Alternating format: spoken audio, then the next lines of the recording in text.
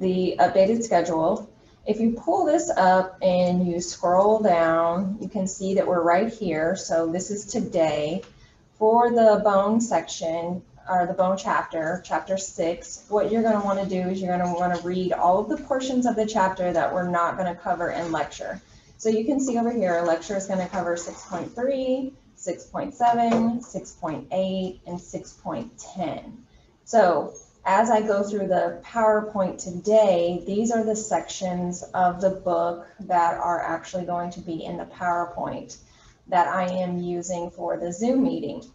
And then you will see another PowerPoint that is listed on modules that has the full entire chapter. So you can use that PowerPoint if you want to kind of go through and have some notes to look at while you are reading that chapter, or you can use the dynamic study modules on Pearson, whatever you prefer. So we're going to do these sections of chapter six today. Today is going to be the last lecture because moving forward, when it comes to chapter 10, for the muscles, you guys are going to watch the posted videos that are going to correlate to each section of the lecture PowerPoint that is within the modules. And I'll show you that here in just a second. And then the very last week is finals week. So this is where you will do test four. Test four is not cumulative. So it's just going to cover chapter six and chapter 10. Yes, you do have to take it because it is going to be the uh, other 17.5% remaining for your grade. It will be open online from Monday, December 7th to Thursday, December the 10th. There is no paper portion, no written portion, so you do not need to look for that. It is a pooled exam, which means that there are 75 questions from chapter 6, 75 questions from chapter 10, and you will get a total of 50 questions for your exam at home. So just make sure that you do take it at any point in time within this time frame that it is open. It is a timed exam. So do make sure that your computer is charged and you are ready to take it because once you start, you will have to finish it. So as we look through the modules, what you will see for that muscle, since I'm not going to be doing the lecturing, you guys have access to all of this information now. So you can utilize the information at any point in time, whether that's over Thanksgiving break, whether you want to start it now. It's really totally up to you on what you want to do. But you will see here that there is a lecture PowerPoint, and each lecture PowerPoint section has an associated video with it. So they are in order. So you'll start with the skeletal muscle structure, in the PowerPoint presentation. And if you're not sure about any of the material, you can go to the video and watch the video to get greater clarity of that information. And then you just keep continue to go on down. So you've got the myofibril structure, the neuromuscular junction, the events at the cholinergic or the neuromuscular junction, excitation and coupling, et cetera, et cetera. So all of these videos cover all of the sections of this lecture PowerPoint right here. So since this is learning on your own time, class time is going to be reserved for any questions that you may have about anything from chapter 6 or from chapter 10. For chapter 6 or chapter 10, since those are the two chapters that are on test 4, if you have any questions about any of that, then that's whenever you would come and ask them during your class period, since I will not be lecturing during the muscles week. So I'll just be answering questions um, helping you work through any of the material that you don't quite understand. Okay, so everybody okay with that? We're good?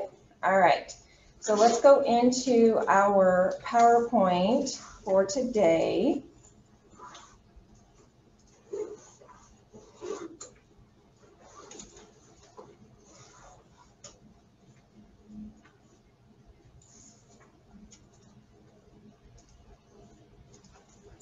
Okay, so again, this is only going to cover a small portion of the chapter, so make sure that you do look over the other sections or do the dynamic study modules for those particular sections that we're not talking about.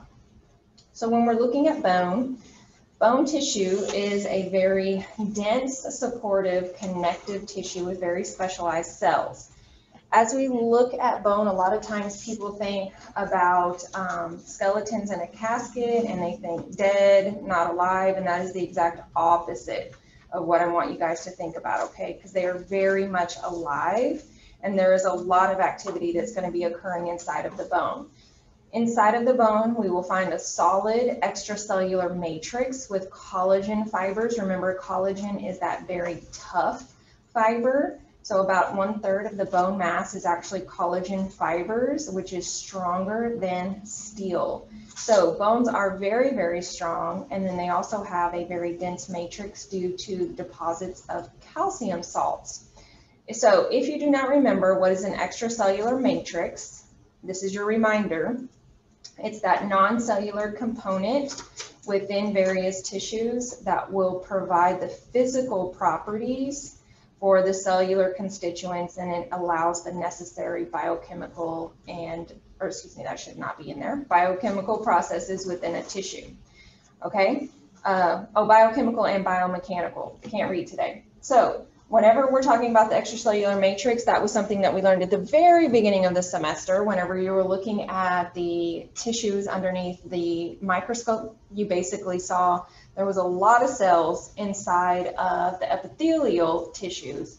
And then inside of the connective tissues, you saw things that were very characteristic of an extracellular matrix, which defined various tissues. So bone does not look the same as blood, which does not look the same as fibrocartilage. Okay, so that's your extracellular matrix. That's what you were looking at underneath the microscope. For our matrix, consists of calcium phosphate. This will make up almost two thirds of that bone mass. This will interact with calcium hydroxide to form crystals of what are called hydroxyapatite and this will help incorporate other calcium salts like calcium carbonate and ions. And then when we combine those crystals and the collagen fibers, this is what allows the bone to be very strong, but then also flexible and resistant to compression. A bone lacking a calcified matrix looks normal, but it is very flexible as what you see over here on this picture. So it looks like it would be the same if it was laying down next to this other bone, but because it doesn't have that solid matrix that is necessary for bones, this is why you have that flexibility that you see in this picture over here. That's not what we want. We do want something very strong to help support the weight of our body. So when we're looking at bone, some of the characteristics you want to make sure that you recall, because we have learned some of this stuff in the past with the tissues portion of lab especially. So we know we have osteocytes, which are bone cells, and they live inside of these structures called the lacunae. So you can see that over here, the lacunae contain the osteocytes. And these are going to be organized around blood vessels. So just remember the blood vessels are going to be at the center of an osteon. They'll run through the central canal, also called the Haversian canal. That's an AKA. And then we have the canaliculi, which are basically these channels that allow the passage of nutrients, waste, and gases from that central canal out towards the periphery of the osteon. We also have cell-to-cell -cell communication that can occur through these channels, so those canaliculi are very important, so that way we can get plenty of nourishment throughout this bone. And then the periosteum, Another reminder, remember this covers the outer surface of the bones, except at the joints. It's not going to occur at the joints because we have hyaline cartilage at the joints. And this will consist of an outer fibrous and an inner cellular layer. You can see in this picture here that I've got the periosteum layer of the bone. You can see it's interconnected and intertwined very intensely with this tendon which is the structure that will attach muscle to bone. So very important structure because not only does it surround the bone, but it also helps form that attachment site where you have your muscles that are going to help move your bones. For our bone cells, we want to know these four different types. Okay, you can see pictures of them here and we're going to walk through them one by one. But these bone cells make up only 2% of the bone mass, although they're incredibly important. So for our osteogenic cells, we're going to start off with these, and AKA is osteoprogenitor cells. These are mesenchymal cells that will divide to produce osteoblast. So these are the stem cells, okay? The osteogenic cells are very important because these stem cells will allow a continuation of bone development throughout our entire life. So you may think that, well, once we have our bones developed as an adult, then that's it. They are what they are. But that's actually not true. They are going to be remodeled throughout the process of your life. We'll be talking about that in a minute. So we do want to make sure we have these stem cells that can continue to provide us with these osteoblasts. Okay, they are located in the inner cellular layer of that periosteum as well as in the endosteum, and they will, star, star, star, assist in fracture repair. So they will help with making sure that we have the cells that we need in order to repair any bones that have been broken. So since these stem cells will help produce the osteoblasts, the question is, what do osteoblasts do? So osteoblasts are going to be the cells that help build bone. So when you see the B in blast, think B for build. Blast, build. So we have these immature cells that will produce new bone matrix during a process called osteogenesis. So Genesis means creation, like the first book of the Bible is Genesis. So creation, osteo, bone. So creation of bone. This is going to come from our osteoblast. This can also be called ossification. Okay, so the osteoid is the matrix produced by the osteoblast that has not yet become calcified, but the osteoblast will help trigger the deposition of the calcium salts into the matrix so that that bone can harden and become very strong. Osteoblasts surrounded by bone matrix will eventually become osteocytes. So that's a different type of cell. Okay, so blasts are going to build it up. And then we have cytes. These are our mature bone cells. They are going to live inside of these lacunae, like you can see right here, the osteocyte inside of the lacunae. And these are going to help maintain the bone. So the blast will build and then the cytes will help maintain. So they maintain the protein and the mineral content of the matrix. So this is kind of like the difference between um, the construction crew that will come and build up a building versus the crew that is going to help run and take care of the building. Okay, two different sets of people, two different sets of cells inside of the bone. These will also help in the repair of damaged bone. So it is possible for these osteocytes to leave the lacunae and then become an osteoblast or even that stem cell, that osteogenic cell, in order to help heal fractures. Again, depending upon what the bone needs in order to help maintain homeostasis and to allow for any repair processes that need to occur that can happen. So the osteocytes do ultimately help maintain this bone. And then we have osteoclasts. So the C in class, I want you to think about the C in clean. So osteoclast, clean. So blast build, cytes maintain, and clast clean. What the osteoclasts are going to do is they're actually going to absorb and remove the bone matrix. They are going to secrete these acids and then protein digesting enzymes that will help dissolve the bone matrix. And whenever this occurs, this will also release some stored minerals.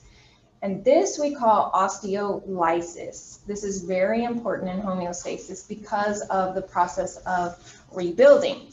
So whenever we are cleaning up old dead bone, we can replace it with new healthy bone to make sure that our bones are always strong and sufficient.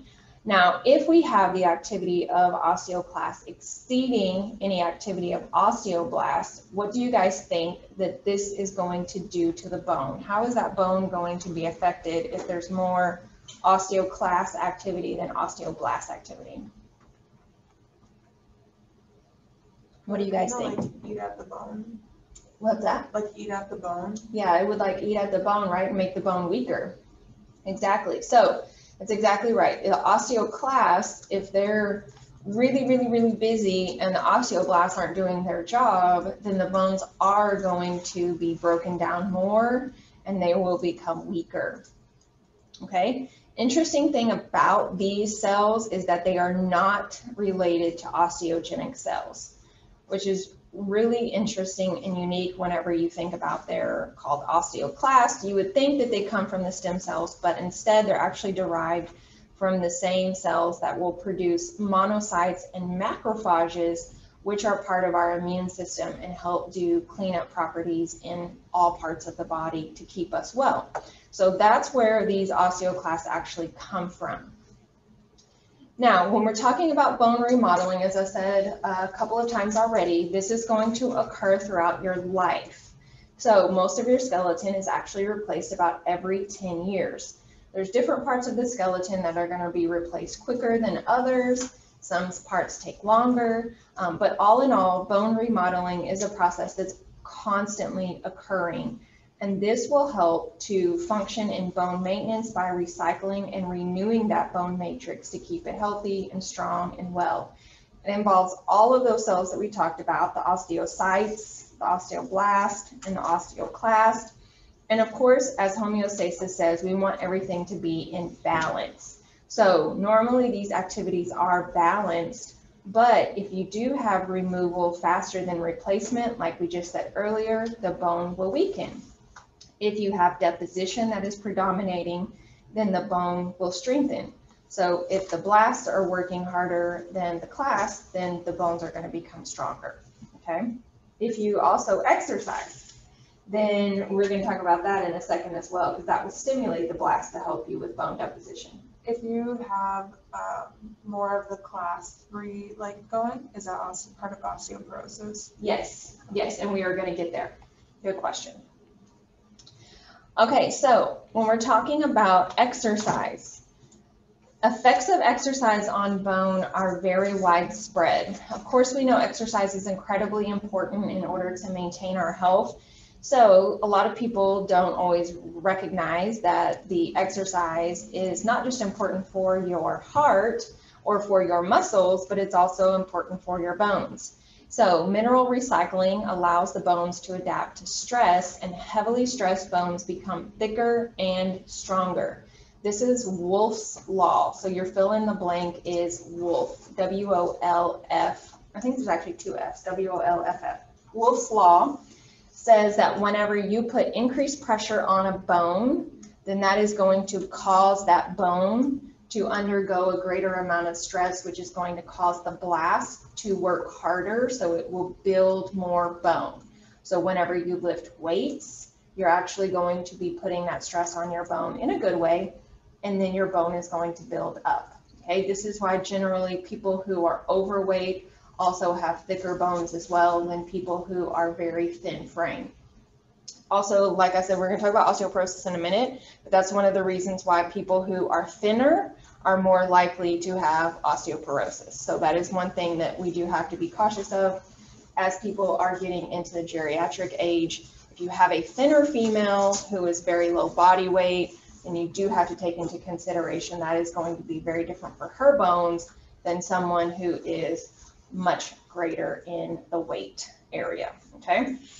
So we do want to stimulate those osteoblasts in order to keep our bones strong. Both weight bearing and muscle strengthening exercises will allow them to strengthen over time. So we have different forms of weight bearing exercises, which include walking, running, dancing, climbing stairs, using an elliptical.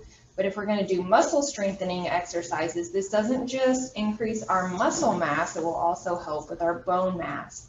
So things like lifting weights, using the elastic exercise bands, swimming, which is one of my favorites, push-ups, which is one of my least favorites, but I still have to do it, and squats, which I don't like doing squats, but I like the effects of squats. So um, all of these exercises are all really great to help. Now, whenever we're talking about someone who maybe doesn't feel like they have the capacity to exercise, either because of age or because of ill health, you know, there are things that can be done to help kind of get around these things, um, but at least starting in something, even if it's just that light walking, is very important for overall homeostasis and health. So, even if somebody feels like, well, I can't squat and my knees hurt, and you know, they have all of these other reasons of why they can't do something, whatever you can do, even if it's going to the gym to work out with the people who do water aerobics, so that way there's not a lot of um, a heavy gravity on your joints and it will be a little bit easier. That is still better than nothing. Okay, so bone will degenerate quickly. You can lose up to one third. This is this is crazy and mind blowing to me. Up to one third of your bone mass can be lost in a few weeks of inactivity. That's just crazy. So this is why regular exercise is very vital to maintaining that bone mass and strength. Because if you're down for just a few weeks, either you're not making time to go to the gym, or let's say maybe you had a fracture, um, you're going to lose bone mass. So you want to do try to come back from those levels of inactivity and increase. Yes, sir. By inactive, this is an obvious question to answer. Inactivity, you mean just sitting around doing nothing? Yep. Sitting around doing nothing. Couch potato, sedentary lifestyle. You work at a desk, you're there from eight to five, you don't get up and move around except for when it's time for you to go to lunch. And at lunch, you sit down for your 30, 45 minute lunch break and you go home and you sit down. So basically, that is inactivity. Yes, you are moving around and yes, you're going to work and yes, you're using your brain, but you are very inactive. It's a very sedentary lifestyle. So that will cause your bones to lose their mass. Okay, so whenever we talk about exercise, of course, right after that, we have to talk about diet as well because um, of course you don't want to just exercise and then eat a whole bunch of crap. So we do have nutritional effects on bone. So you can see that I've put some of the important things over here, different vitamins and minerals are going to be required. Of course, calcium is huge whenever it comes to bones. Um, we'll be talking more about calcium here in just a second, but it's not the only one and it cert certainly does not work alone. So there are multiple things that you're going to want to get into your diet on a regular basis in order to help with the homeostasis of your bones. Now, calcitriol and vitamin D3 are, of course, very important as well. Calcitriol is made in the kidneys, and this is going to be essential to help calcium and phosphate ion absorption in the GI tract. So the vitamin D intake will help with increasing the calcium absorption from these foods that you eat. So if you're eating these sardines and these dark green leafy vegetables, um, you are going to have a better chance of absorbing that if your vitamin D levels are sufficient. If your vitamin D levels are not sufficient, then you might have a little bit more problem absorbing that. So it's very important to have all of the uh, key players working together. Now, all of the minerals, as we talk about minerals like zinc, copper, etc., they have to maintain a balanced ratio. So an example of that is if we have too much phosphorus, then can, this can cause calcium to be excreted from the bones, and of course it will be, be very harmful to the kidneys as well. So although that is going to be an important mineral, too much of it is going to cause a problem. Can you guys think of something that is high in phosphorus that is so common and basically consumed every single day in America? Processed foods. What'd you say? Processed foods. Processed foods, yeah. Um, but there's one that's even higher, and like so many people drink it every Coffee. day. Not coffee, Soda. Energy drinks. soda. So a lot of sodas are really high in phosphorus. Okay, so if you ever hear people say, oh, well, I just have a soda a day. Okay, soda a day definitely does not keep the doctor away. Um, it is going to cause you long-term impacts because it can leach calcium from your bones and then it can start causing kidney issues. So in uh, my particular case, because I grew up eating really crappy food all of my life, I really can't drink soda at all without getting back pain because as soon as I drink soda, my kidneys immediately just go to hurting. So I just don't even drink soda. Um, it's just not worth it to me anymore. But that high phosphorus level, plus I'm a very thin female, thin white female, which puts me high on the list of more likely to get osteoporosis. I don't want to do anything that's going to leak calcium out of my bones. But then also, whenever my husband told me that he could pour soda on like a rusty battery inside of the car or some some situation like that and like it would clean it up and when he showed me that visually i was like oh, what is that doing to my insides So we do not buy soda ever since that little uh, garage experiment that my husband showed me. So I do appreciate that, learning that, because I don't know anything about cars. All right, so all of these are very important. This is why it's also important to have a wide variety of foods. Don't just eat the same foods every single day. Eating the same foods every single day doesn't provide a spectrum of vitamins and minerals. So you do want to try to eat all the colors of the rainbow, but then you also want to keep a good variety. If every single uh, Friday you eat the same thing, every single Monday you eat the same thing, it's time to change it up and get some different things going on. So the class is getting me in trouble. We were talking about this, me and my wife today, because she takes supplements. you Yeah. know? And my mom's in town. We went to get her. And we were just talking about how much is too much. And my wife was like, there's no such thing as too much supplements. Like, Okay, That's not true. okay, that's a very good question. So you want me to address that? Please. Okay, so hopefully this Is was, being recorded? yes. Good. Yes, hopefully this won't get you in further trouble, but here's the thing. Um, in just a second, whenever I talk about calcium and how it maintains homeostasis, I'm actually gonna show you guys the brand of supplements that I use in practice. And the reason why I only will use these is because they're made from foods.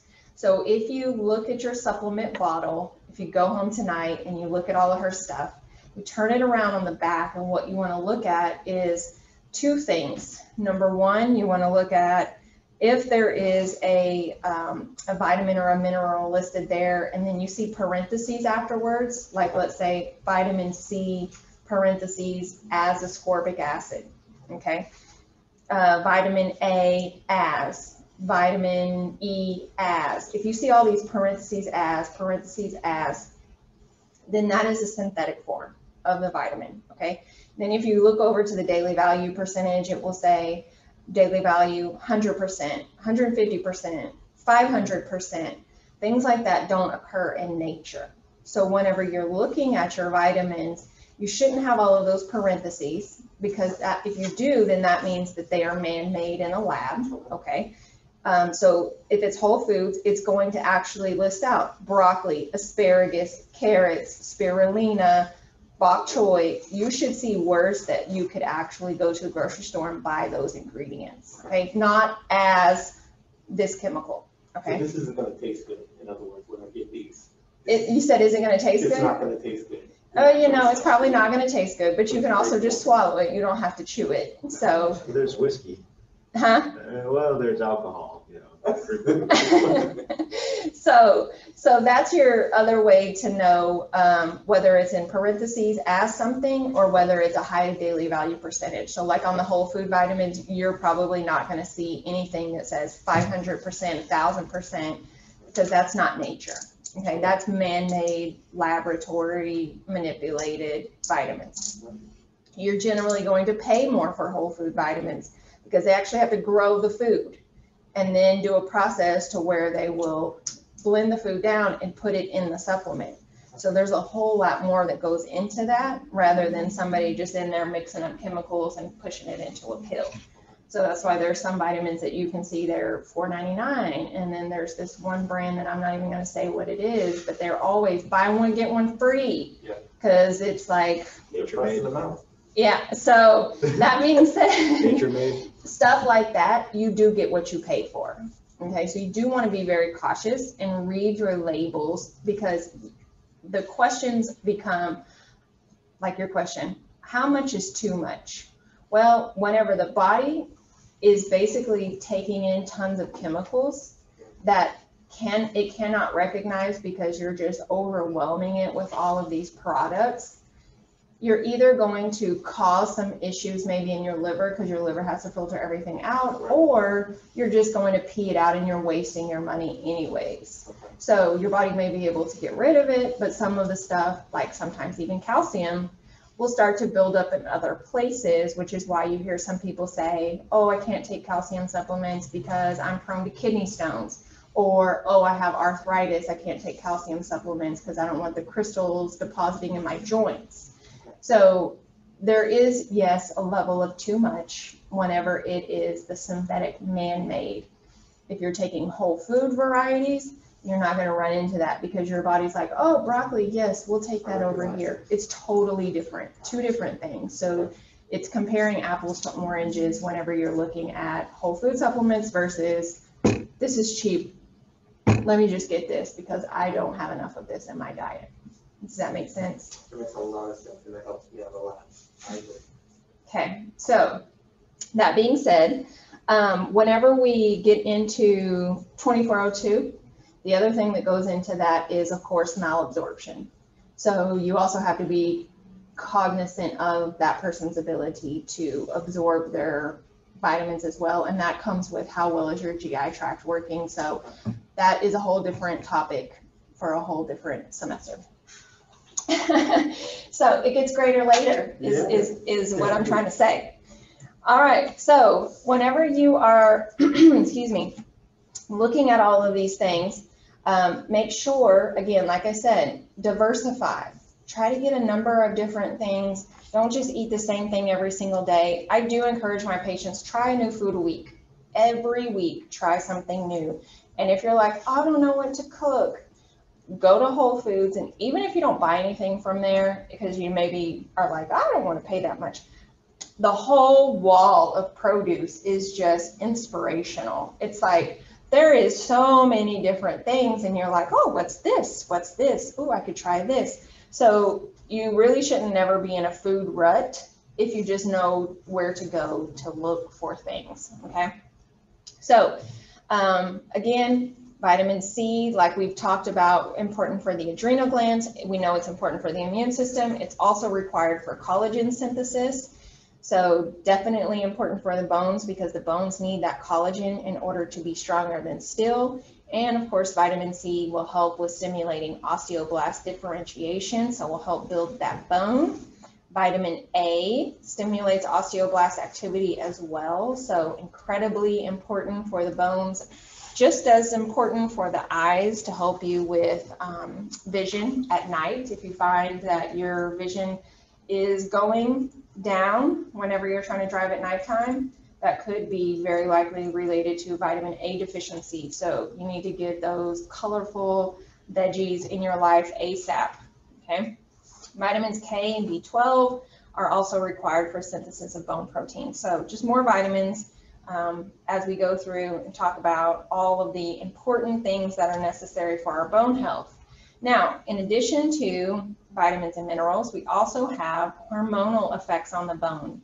So growth hormone, abbreviated GH, this is going to stimulate protein synthesis, cell division, and cell growth. So as the name implies, growth hormone helps you grow.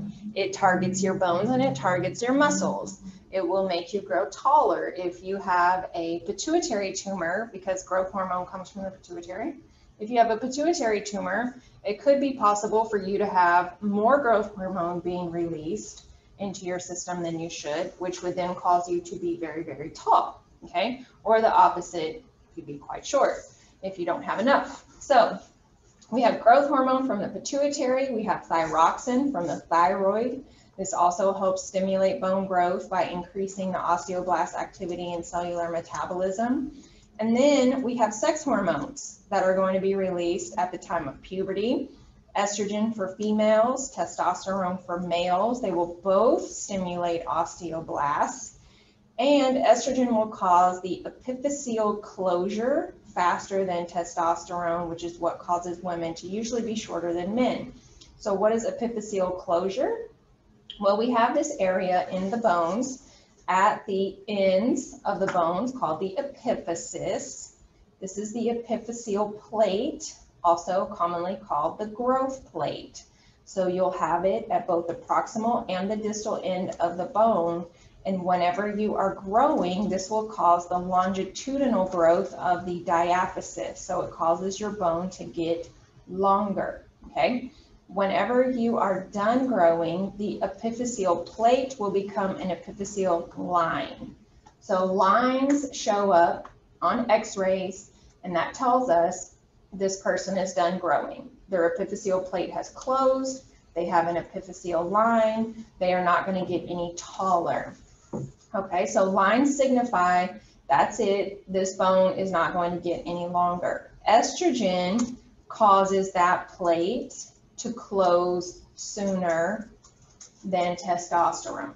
So that is where a lot of the height difference comes from men and women. Okay.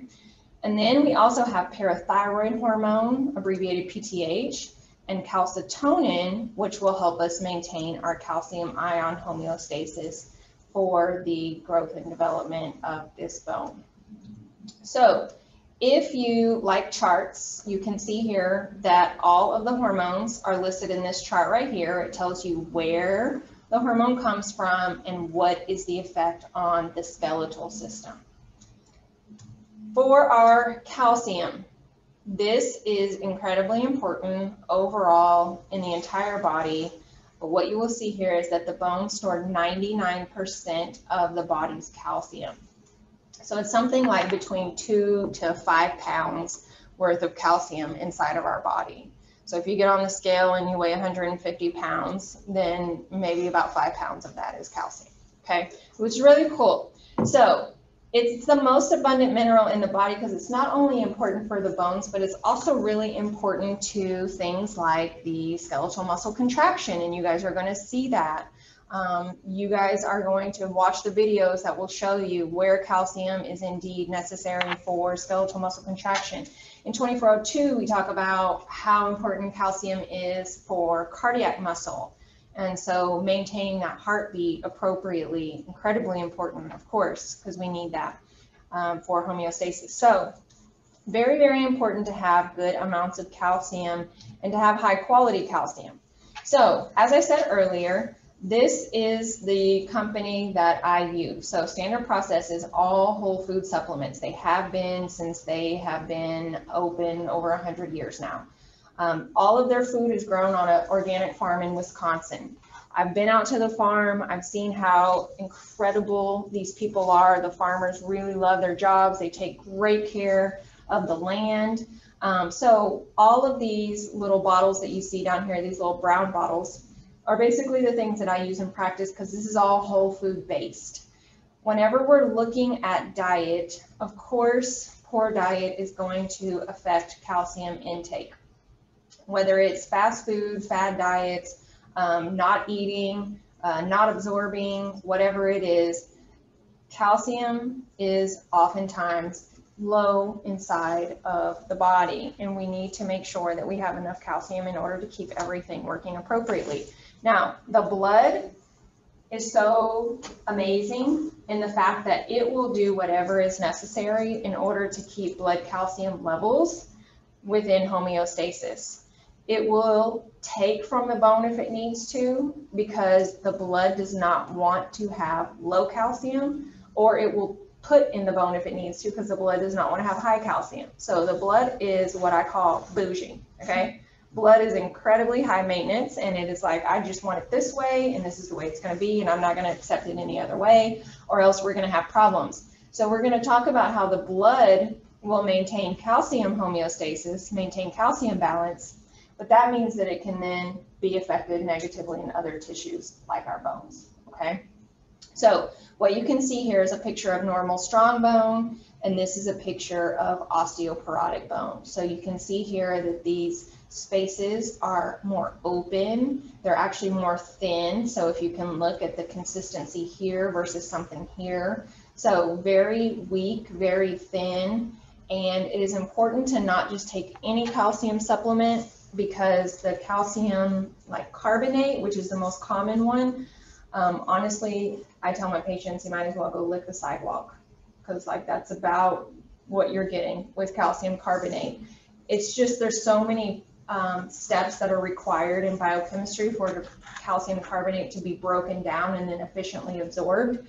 And it's very hard for uh, many people to actually do that and utilize it appropriately. So this is why there are those studies that say, oh, calcium supplements contribute to kidney stones or to other problems in different parts of the body. And it's because that calcium just cannot be utilized like it should. Carbonate is a no. Um, if you look at lactate and citrate, those are easier for you to break down and to utilize.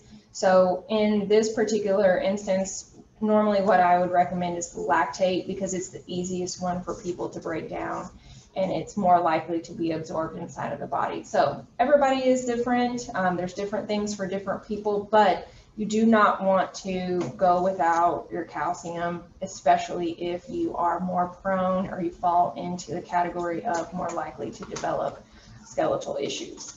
So let's talk about how this calcium is maintained within the blood.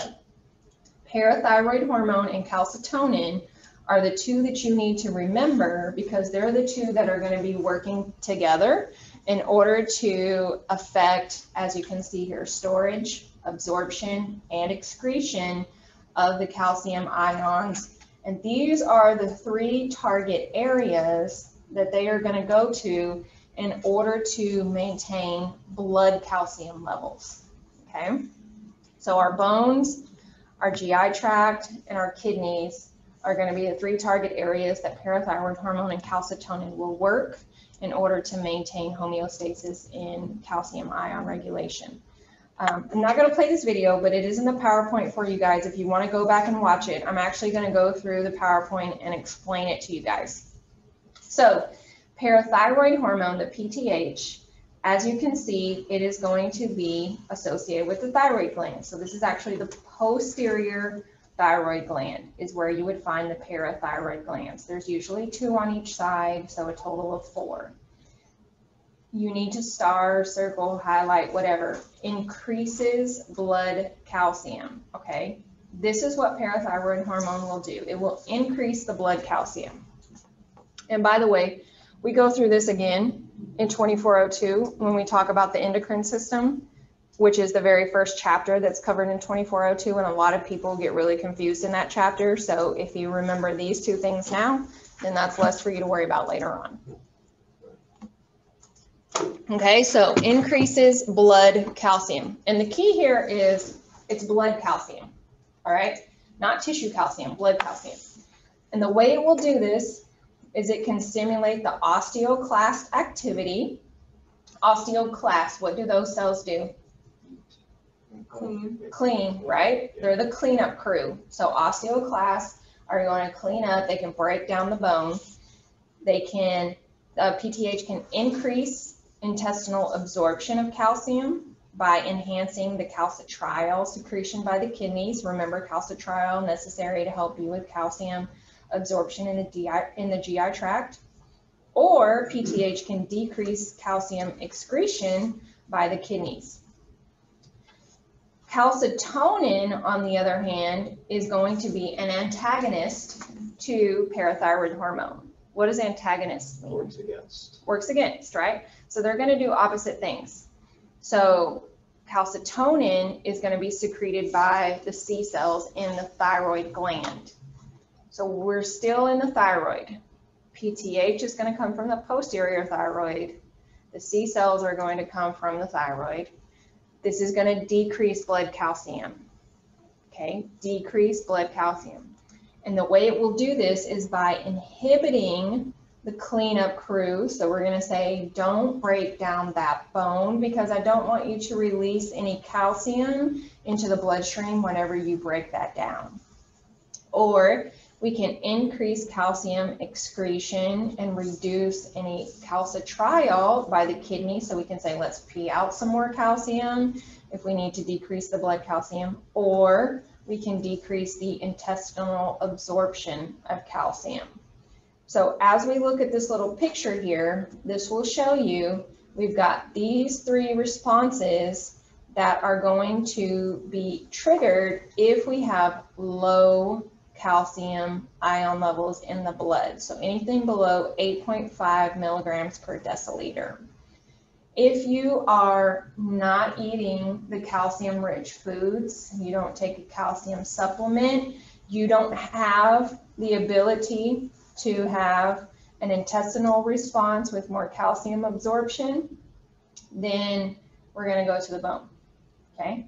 We're to go to the bone and we're going to say, hey, cleanup crew, can you start breaking down this bone so that we can release these calcium from the bone? Yes, I know it's going to make the bone weaker, but right now it's more important to the blood for all of the other processes that have to occur with calcium, we need that calcium out of the bone. So we don't care that it's gonna make it weak, we we need it right now. Okay, that's what the blood is gonna say. Or we are gonna have the kidneys that are going to absorb calcium ions. But again, calcitriol is important in this little component. And if you have low vitamin D, then you may have some issues here as well, okay? So this is why it's easy to end up with something like osteopenia or osteoporosis if you do not have the calcium or vitamin D that your body needs. Ultimately, any of these three choices are options for the parathyroid hormone to act upon in order to ultimately increase the calcium level in the blood. And if we have too much, so let's say we don't want anything above 11. So you can see that's a very tight range, 8.5 to 11. I told you guys the blood is bougie. It's like 8.5 to 11, that's the only thing I'm dealing with here, all right? So if you have high calcium ion levels in the blood, let's say because you're either taking a whole lot of calcium supplements or you're eating a ton of calcium rich foods, whatever it is, um, the blood does not want a whole lot of excess. So it will tell the thyroid glands, hey, C cells, I need you guys to secrete the hormone calcitonin, and then calcitonin will go to work again in these same three areas. So if you are eating a lot of that, um, again, intestinal absorption of the calcium will decrease, or you'll pee it out. So taking a super huge amount of calcium in a synthetic supplement every day, you're either not going to absorb it or you're going to pee it out. Okay, because the body is like, mm, I don't need all that. Or what can happen over here in the bone response, the osteoclast activity will decrease. Unfortunately, look at this right here osteoblast activity unaffected. So it's like, wait, hold up. Normally you would think, well, if you have too much calcium, let's go ahead and deposit it into the bones. But according to what the researchers have seen is that the osteoblast activity does not change even with high levels of calcium. So again, you're back to peeing it out or uh, decreasing the absorption rate of it. Yes, ma'am. So the blood is gonna dictate which one is secreted. Say it again. The blood will dictate which one is secreted. So it does, it like, the blood flows through whatever, and it would go to either the parathyroid or, and like tell it like, hey, do Yep. this. Okay. Mhm, mhm. Yep. The blood levels of the calcium will dictate which player gets to come into the game. Okay. In order to maintain homeostasis between that eight and a half to eleven. Gotcha. Okay? All right, so if we don't have enough calcium in our life, we're either not eating the right foods, we're not taking the right supplements, whatever the case may be, um, then we are going to be more prone to getting either osteopenia or osteoporosis. Now, osteopenia is the steps before osteoporosis. So osteopenia is whenever your bones start to have less density than they should.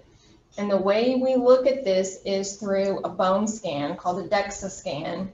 So the bone density is going to be measured on what's called a T-score. Normal bone density, you can see plus one to negative one. If you start to have low bone density, negative one to negative 2.5, this is osteopenia. This is whenever you get the um, information from your doctor to say, hey, your bones are not looking so great and there needs to be some changes in your life. You need to, what do they always say? Diet and exercise. Diet and exercise. Those are the always, always the two answers to everything. Unfortunately, not everybody knows what that means, right? As a patient, you're like, well, what am I supposed to do? Um, so, diet and exercise, of course, eating the good, healthy foods, putting the stress on your bones to go along with Wolff's Law, all of those things are going to be very important to help with your bone density. If it is negative 2.5 or higher, at risk for osteoporosis. If we look at these pictures here, so let's look at this one down here first.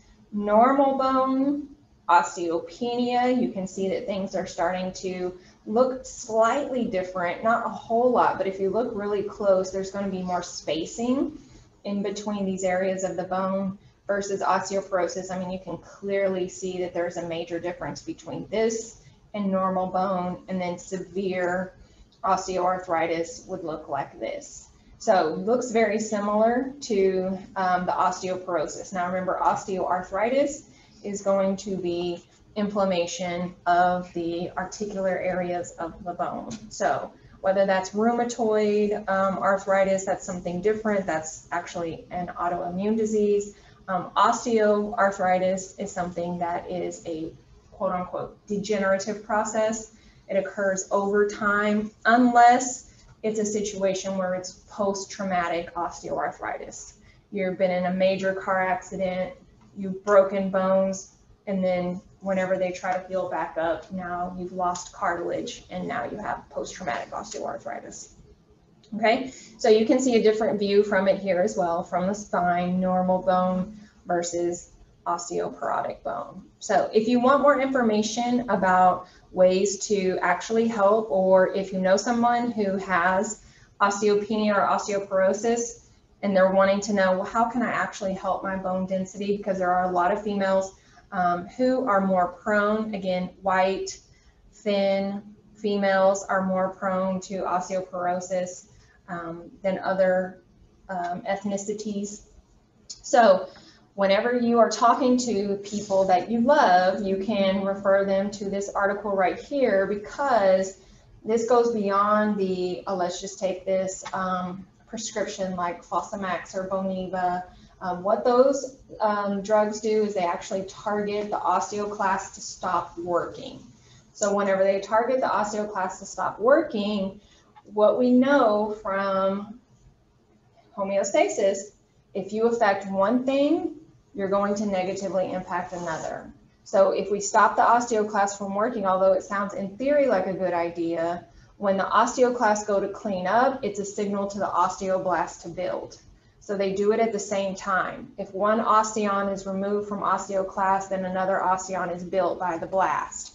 So just stopping the osteoclast will also negatively impact the osteoblast, which is why if you look at the um, package inserts or the side effects or the warnings of those drugs, they will say increased risk for fracture, which is the exact opposite of what you're hoping for. You want stronger, healthier bones. Um, but what they have found in research studies is that those osteoclasts being inhibited, it is actually causing micro cracks in the bones. So the bones can actually weaken more over time. And if you don't have that strength, um, it's more likely to then get a fracture because of all of those little micro cracks. So you do want to do a wide variety of things with your diet and your lifestyle. There's some things you can't change, like your age, you can't change, your ethnicity, you can't change, your gender, you can't change. Um, but there are other things that you can do in order to help with healing up those bones.